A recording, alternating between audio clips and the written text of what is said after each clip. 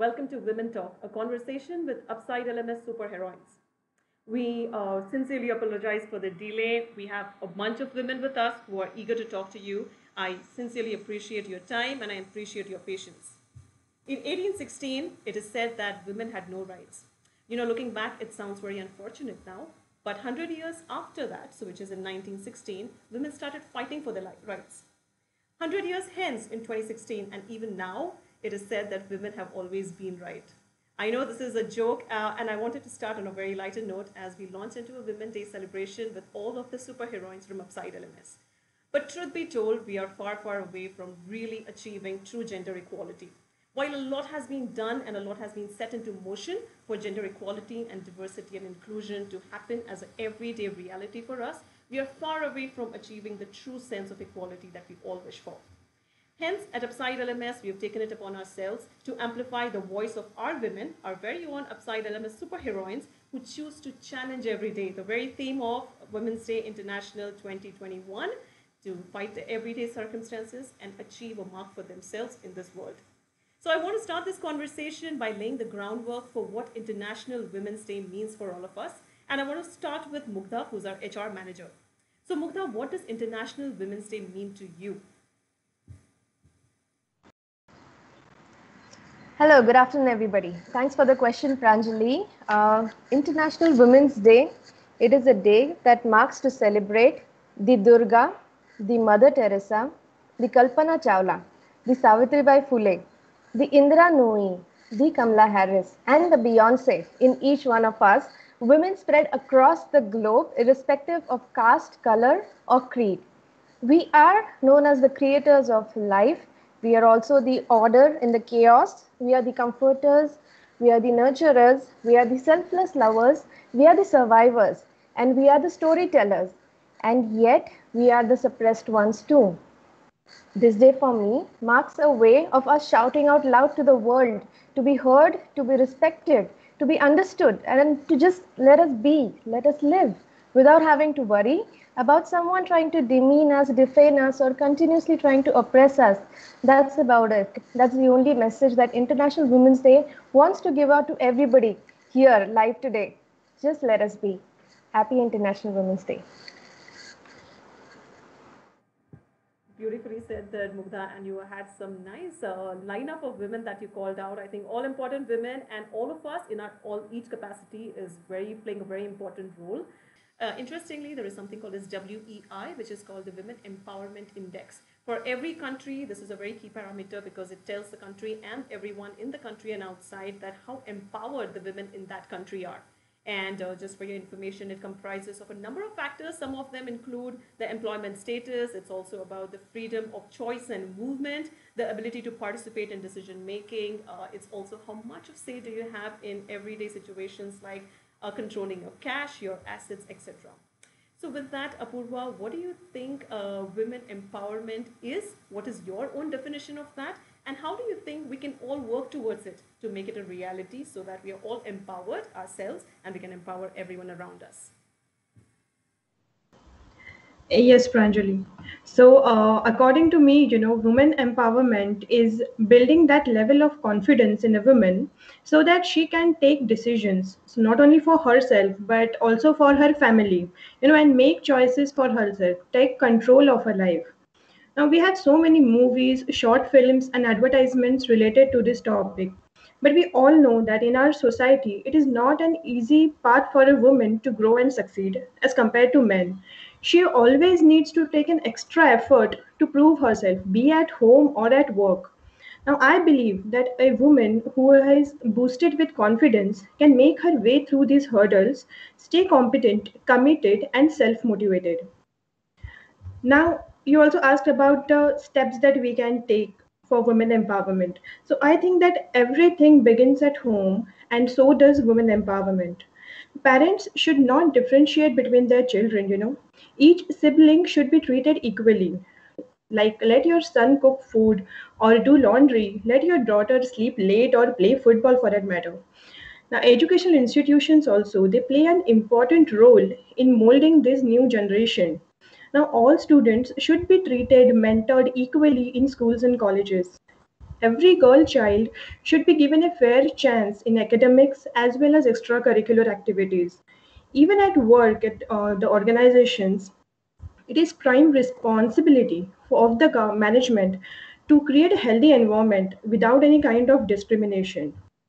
Now, to start with, as parents, they should take an interest in their child's day to day activities, like teach your daughter self defense. As a woman, we should encourage other women to do the right thing. We should motivate them to raise their voice when needed. Also, as a parent or as a friend, we should tell them that we stand by them, make them feel secure. We should not be a spectator when we know that something incorrect is happening around. You know, on the other side, we should also teach our sons that they, need to respect girls. They need to respect their sister, mother, friend, every girl, every woman they came against. It's also important for men, you know, to understand that in this competitive world, women can be better than them and they should respect their authority.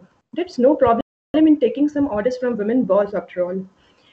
Do not characterize a woman, you know, based on her profession or attitude, clothes, or anything. Look at her as a human being and appreciate her.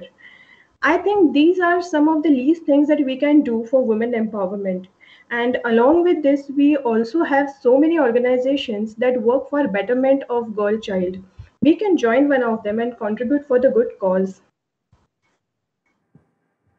Thanks for raising a very important point there, Apurva. You know, oftentimes when we talk of women empowerment, we all just get so carried away by the women word in it that we forget about the other uh, genders that are there. So while you empower this one uh, gender, which is women, as we talk about today, it's equally important to sensitize the other genders. As you said, it's important for the boys to know that uh, how to perceive or how what kind of outlook they can have towards the women it's equally important for other genders to be aware of uh, the empowerment that's happening so that equally we are able to support each other. I remember last uh, Women's Day, the theme of uh, the International Women's Day itself was each for equal, which means we are all here and we each have a role to play and we need to respect that. Now, you know, speaking of the different genders, it gets me to the topic of diversity and inclusion. And not long ago, Josh Bersin, who is very popular in the learning circles, he observed that companies that embrace diversity and inclusion, they have a better rate of success and they outperform their peers very easily right? And I think a part of this is uh, how diversity also brings about different thoughts and opinions to the table, which is oftentimes important because uh, we all get carried away by the tunnel vision when everyone just looks through a common lens. You just need that diversity of uh, lens and outlooks to come about. I think the larger question to be answered though is how can you bring about diversity and inclusion in the workplace? Mitali, if you have some views to share, we'd love to hear you out.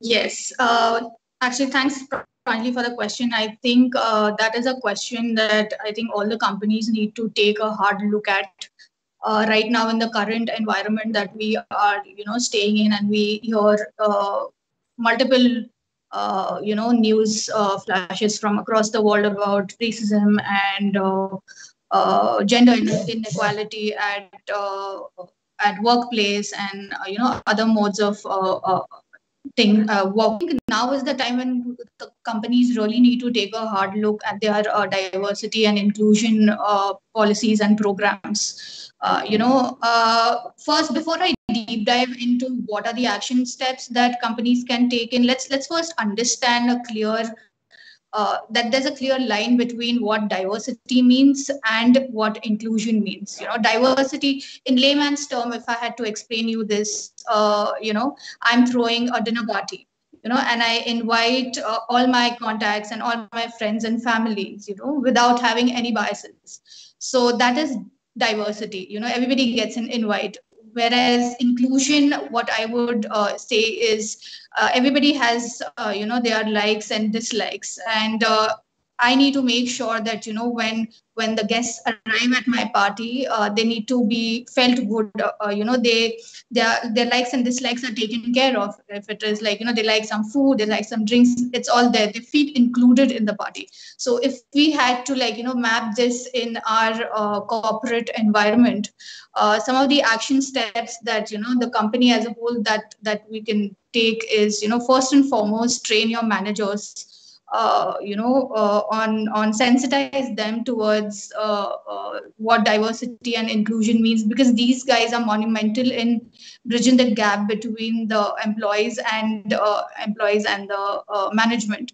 So, you know, through workshops, through diversity training, through cultural training, you you sort of like you know demolish their unconscious biases that subconscious biases that they have uh, that's one thing that you know as a company that in, that you can do. The second most important thing is look into your hiring goals now uh, now hiring goals uh, you know diverse can, can they, they can achieve diversity goals but what about in uh, inclusivity goals? Uh, what i firmly believe is where diversity goals uh, and inclusive inclusive uh, sorry inclusive goals you know they they start. So what i mean is don't just look at your job being done you know at rolling out the offer letter. The employee experience is basically a 360 degree uh, uh, you know approach that that the hr or the company as a whole need to take. Uh, you need to ask the question you know have i created an environment that promotes uh, inclusion uh, wherein my employees can ask the questions freely can can make mistakes but also feel safe to work uh, in you know in a, in an environment and thrive. So basically when when you know the jd sort of uh, when when the hrs they roll out the jd and they they mention you know we are looking for the right fit you know there is a possibility that we might exclude uh, you know we might exclude some some uh, potential candidates there. So look into the values that your company uh, are proposing the mission statement the the approach that you're taking towards your employee engagement and then uh, you know align your hiring goals to actually thrive actually onboard people to thrive uh, you know so that they can thrive in that uh, environment and not just like you know have okay this is a good fit and then we are going to you know hire hire this person and uh, third, uh, I think uh, the most important thing is uh, you know celebrate all the cultures, all the all the diversity that you know uh, people come from, eh, all the walk walk of life that people come on, come uh, in a in a what do you call in a organization, have potlucks, you know, have different ethnicity days and uh, let people mingle with each other like you know get to know each other better get to know where they come from where everybody comes from. So i think uh, i mean there are you know tons of other things that also the uh, organization can do to to uh, you know promote uh, the uh, diversity and inclusion culture. But i think these three things are something that i feel you know we can are easily can be easily rolled out and implemented. So yeah very practical very practical tips, Mitali, and I love the fact that you uh, broke it into three different parameters. And interestingly, if you all saw the common theme, uh, my takeaway from what Mitali said was uh, while diversity and inclusion is definitely one of the onus that HR carries, it just doesn't, just doesn't limit to the HR. We all, as um, you know, people and employees of a company, need to be mindful of the fact that diversity and inclusion needs to be an everyday practice for us and which is why while HR may be the needle mover in terms of diversity and inclusion and having the hiring goals or the DNI goals, uh, the actual strategy needs to be all across all the functions, right? And you know, when you speak of diversity and inclusion, it's equally important to speak about women at the table because it's one thing to have diversity in the team and to ensure that you have the hiring goals and you have the ratios matched as per what you set out to be. But uh, at the end of the day, it's equally important to see how many women are at the table in the decision making uh, capacity and how are you able to celebrate and recognize that?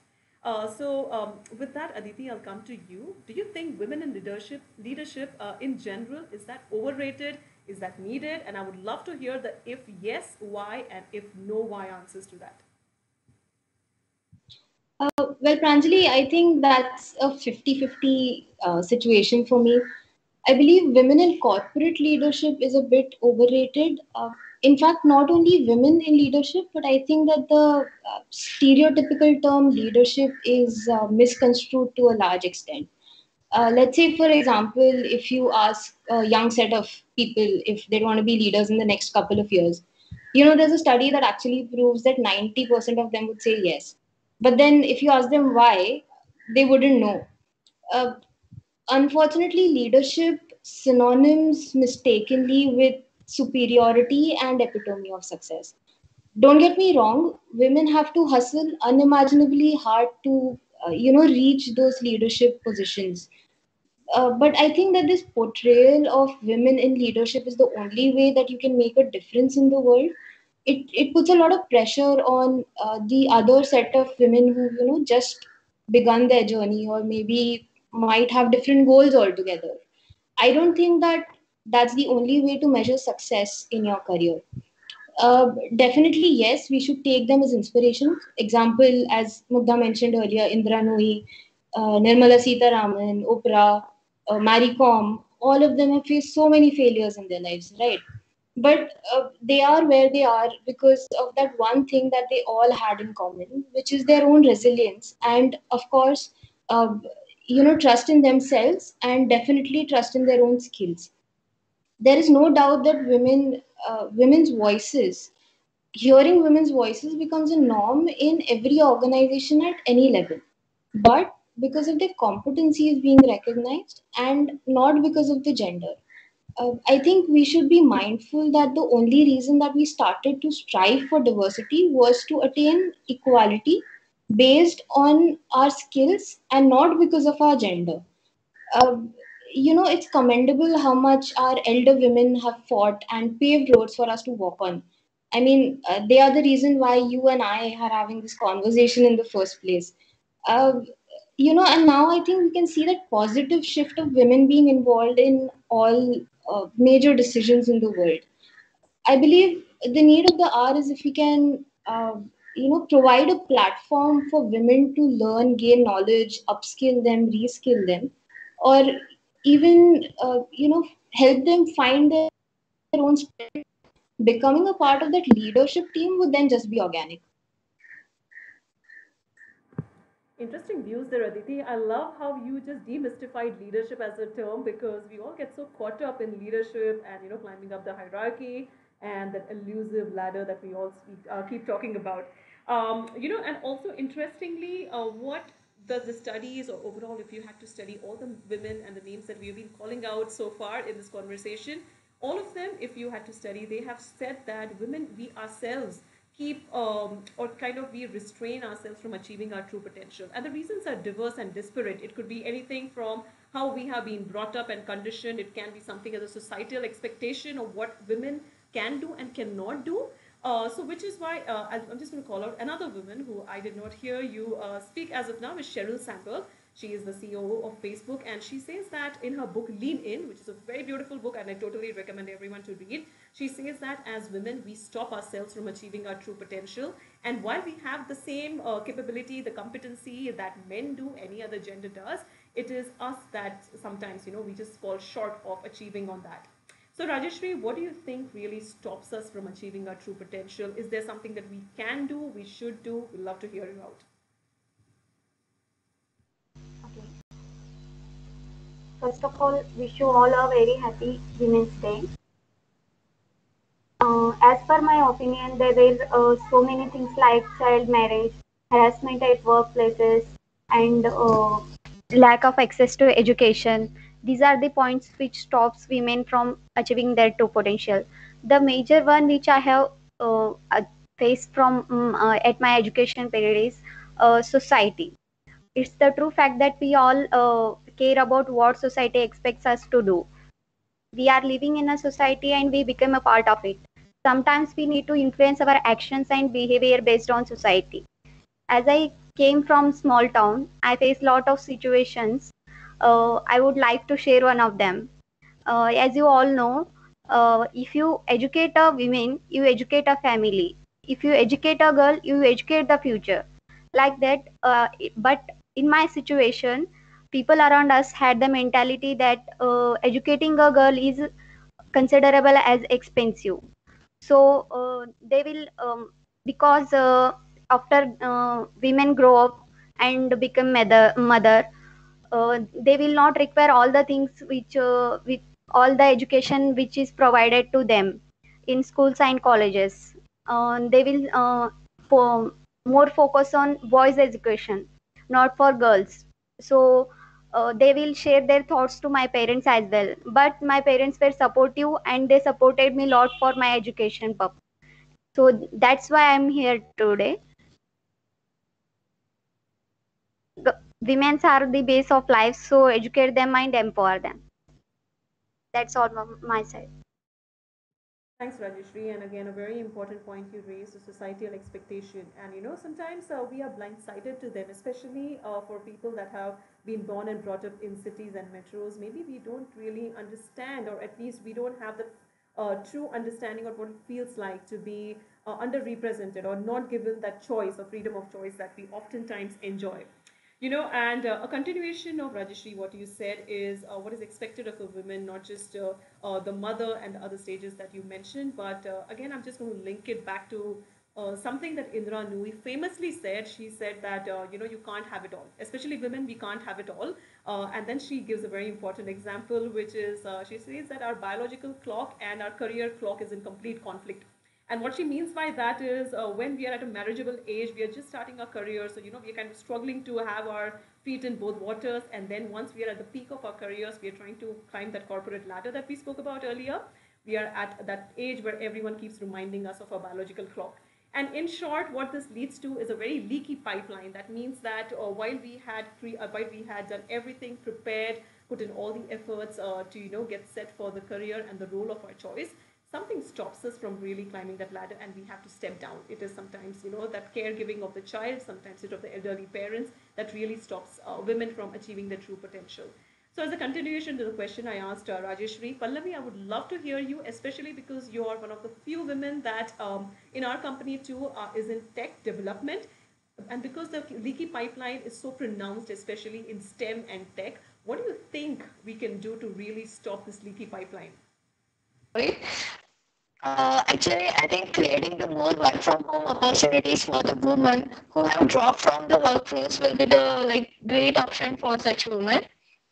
Uh, so the most uh, one of the most important reason the women drop off the workforce is the children upbringing, their uh, concern about the children, etc. So I think the workplace should be designed to take care of the uh, like the needs of the woman with kids. Like you can create the daycare facility at the workplace so that women could be uh, more focused on their work and not to uh, get worried about the children nourishment, their upbringing, etc. Focus and of course then productivity will be uh, more. Also, the another thing I think uh, after a certain gap, like uh, uh, uh, because of the reason like pregnancy, etc. So after this gap, it is very difficult for a woman to rejoin the workforce. So we can uh, create the opportunities for hiring specifically women who are willing to rejoin the workforce. I think that's it. Sure, Pallavi, very interesting view. So what I hear you say are two different things. If I can just put them in two different buckets. One is, of course, you create the kind of environment and facilities where a woman can actually thrive, irrespective of where she is on her overall age cycle, you know, and even her status in life, if she's married, single, with children, without children, whatever.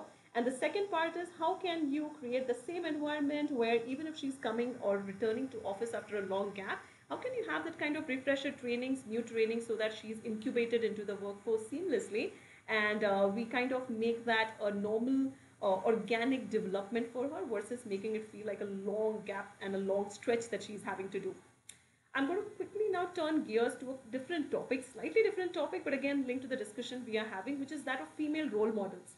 Now, here's what a study that I encountered uh, told me is uh, typically as children, when we are shown or when we are presented with uh, any kind of subject that we are learning, typically we have always been shown pictures, we have been told stories of um, male, uh, male uh, stereotypes. You know, for example, even if it's science, there are multiple scientists, and typically it's the male scientist. If it is uh, army and police, it is those. And what happens is in our young minds, then we kind of formulate and we believe that we as women cannot do that because all of the photos, all of the pictures, all of the stories we have seen, they do not relate or resonate to us. Another study that uh, that just investigated how women in STEM education, it could be engineering or it could be biology or chemistry, they saw how a female role model in the form of a teacher, a mentor can have on that, and they saw that had a positive impact. Because now, as a woman, I can relate and I can see that I could be in that position or I could achieve all of those things that I'm seeing the other women achieve. And which is why I think it's very important for us to have role models, and as women, sometimes a woman role model. So Ayushi, my question to you is, do you have a role model, especially a woman that you look up to, and if she inspires you, we'd love to hear who she is, how she inspires you, and why. Pranjali, there are many women who have done such great things, who have inspired me, motivated me. I mean, there are a lot of them who I, uh, which uh, I like. Women have marked women have left a mark in every field. So like Barkha Dutt, a TV journalist, she's a, a woman of extraordinary courage to bring out truths, like from Kargil War to Mumbai attack of 2008. Despite the danger associated with wars, she reported the incident from ground zero. She was also awarded uh, Padma Shri for her remarkable contribution in the field of journalism. The act of courage by this woman is encouraging the Indian women to do something courageous even in their normal lives. And then there's also Priyanka Chopra, famous TV actress, who has earned global recognition for her diverse acting roles in Bollywood and Hollywood. Though successful in her career, she also contributes for social cause. She is major influencer in global women empowerment. She has been working in UNICEF India to improve the lives of the children from disadvantaged background. She's also involved in a program called Deepshikha, which is aimed at empowering young women, girls, with financial education, leadership, training, and entrepreneurial skills. Well, the uh, influential women like these have not only succeeded in their career, but also have inspired millennials like us to stand up and speak up. Thank you, Ayushi, for giving us such a detailed account of uh, Barkha and uh, Priyanka Chopra. I think these women, both in their different realms of life, have done beautifully well for themselves. You know, and I, I would now talk of a topic which uh, honestly is a bit biased, but nonetheless is equally important. You know, oftentimes when we talk of anything to do with women, uh, the the question of work-life balance comes up. I, I as a woman find it a bit um, uh, I think it's not right for uh, us to talk of that only for women, which is why um, it is equally important to have this discussion with our male counterparts and other otherwise too. But nonetheless, it's a very important topic to be discussed, especially after COVID, when we were all quarantined and we had this a boundary between our personal and professional lines so blurred. Uh, it's equally important for us to talk about, you know, how we are managing different things, especially now too, because we continue to work from home. We don't know yet when we are going back to a full physical setup or a digital setup, or will it be a, a kind of a virtual setup that we are having now. So Shailaja, my question to you is, uh, or rather my, uh, I want to ask you this, is there a pro tip that you use or you have seen someone in your community, your friend circle use that you think is great for managing your work as well as your personal life? As a woman, uh, it is difficult to work. Uh, it is difficult difficult to balancing work and life. The uh, the thoughts that comes in our mind uh, that that is good good enough time that you are moving in a balancing of directions, uh, balancing work and life. Don't say I didn't do the, do this. I can't do this. That work is too much so that that is negative thing na? so avoid these negative things. Don't say negative uh, uh, remove as uh, negative so, uh, things. Stay physically and mentally mindset with your um, inner peace means by doing yogas and meditations. So you you need to control yourself and have a have an open mind to uh, for new ideas and uh, while working with the teams you need to uh, say thankful to our, our teams. That's it.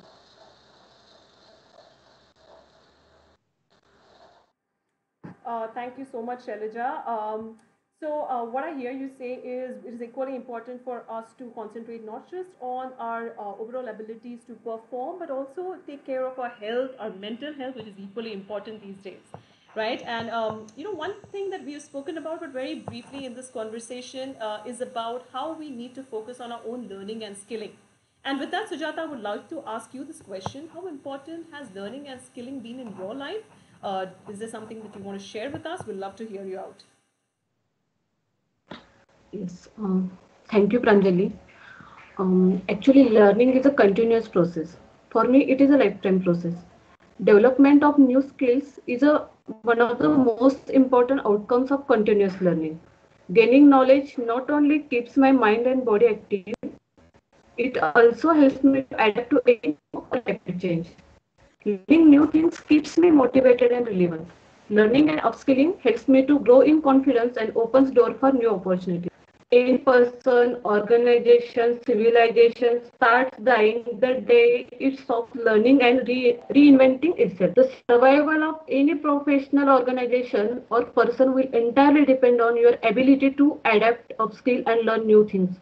So, learning is important in your, in your life.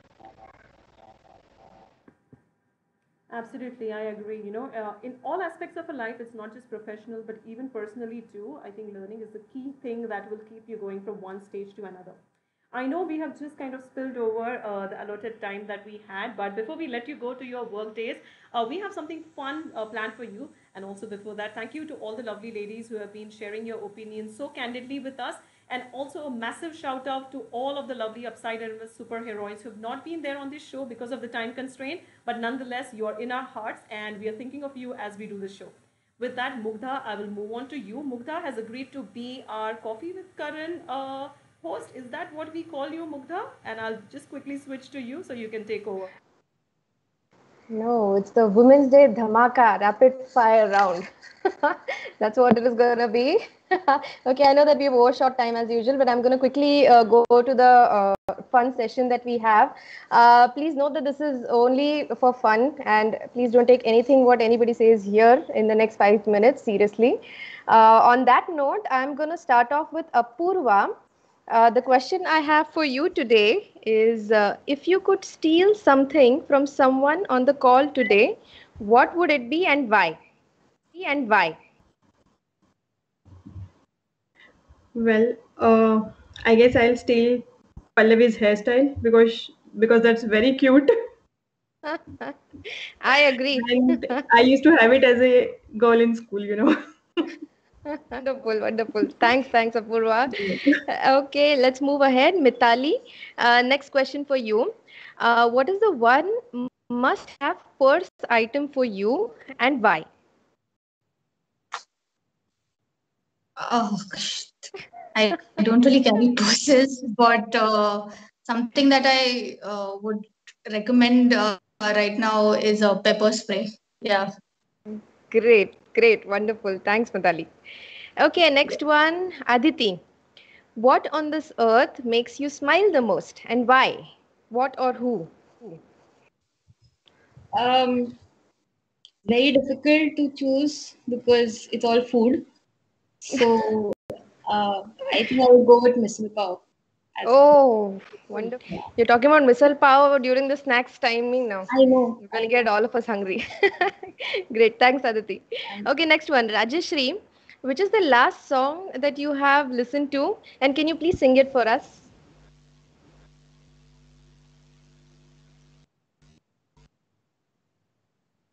Yes, Rajeshri. Yes. Don't worry, we are all not blessed with a very good voice, but nevertheless, it's just a fun session. you start off, we'll join in with you. Okay. Just a minute. You can't Google it. any song with any song that you last uh, listened to. Yes, yes, just a minute. Google has ruined our lives. You know, it's weird that when you ask, well, what's your favorite song, everyone goes blank. okay, you can. Okay, you, you know what, Rajesh, you can Google it. I will uh, come back to you again for that. Let's move on. Uh, Pallavi, Pallavi, we would like to know if you're a morning person or a night person. And the way I want you to say it is if you're a morning person, I want you to say kukuruku. And if you're a night person, I want you to say ow. it's situational. Kukuruku. Ow! thanks, thanks, Pallavi, for being a sport. Ayushi, if you could live anywhere in the world, where would it be and why? Uh, near the beach, water calms me down. I like ocean. Wow, are you thinking Maldives? You should plan a girls' trip to Maldives. yeah, definitely. I would love to. Great. Thanks, Ayushi. Okay, next one, Sujata. What is the one compliment people give you the most?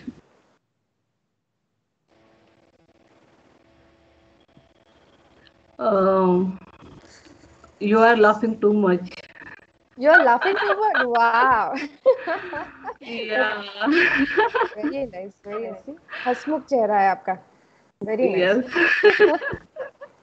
okay. Thank you. Thanks, Sujata. Okay, next one, Shailaja. If you could have one superpower, what would it be and why? I think it's a patience. It's my own patience. Okay. is my power. That is your power. But what is the one superpower you would want to have? Like, and uh, you know, you can fly, something of that sort. Something imagine. uh, Just use your imagination. Yes, I would like to Superman flying in the air. Ah, okay, good. I thought you were gonna say that I would like to have disappearing skills so that from this rubbish rapid fire Mugdha is conducting. Thanks, Shailaja. Thank you. Okay, Pranjali. Who has it easier, men or women? Very controversial question. Let's see what Pranjali has to say. Okay, I don't want to answer this question. I live with three men in my house. You know what will happen if I answer this question, right? I don't think anyone has it easy or difficult. It's all in our mind. It's how you look at it. So um, that's my answer. It was a roundabout, but nonetheless, it's my answer. Whatever you say is going to uh, hopefully be, you know, not taken too seriously. Uh, no, I mean, I didn't mean it that way. As in, they're just gonna, like, you know, not uh, put you on the leash. Okay, uh, anybody whom I've left out? Sorry, hello, I can't hear. okay, Pranjali, how much time do we have? Oh yeah, Rajeshri, yes. Correct, correct. Rajeshri, let's get back, back to you. Okay, now have you finally Googled the song which you want to sing for us? Okay. Please join with, with me as well. yeah, yeah, if we know the song. Please go ahead. Recently, I have uh, uh, heard one song, Youth Gay song. I am not a good singer. Neither are we. That's okay. Like I said, it's a fun round. Okay मैंने जब देखा था तुमको रात भी वो याद है मुझको तारे गिनते गिनते सो गया दिल मेरा धड़का था कस के कुछ कहा था तूने हंस के, मैंने उसी पल तेरा हो गया। आसमानों पे जो खुदा है, उससे मेरी यही दुआ है। चाँद ये हर रोज में देखू तेरे साथ में। वाह वाह वाह वाह वाह very good I didn't know the song sorry I couldn't sing along but great job Harishree okay, with that, I have uh, come to the end of the embarrassing rapid, rapid fire question round that I had for all of you. Uh, I think we've already overshot time. Otherwise, I had another set of questions, but never mind. There's always another time.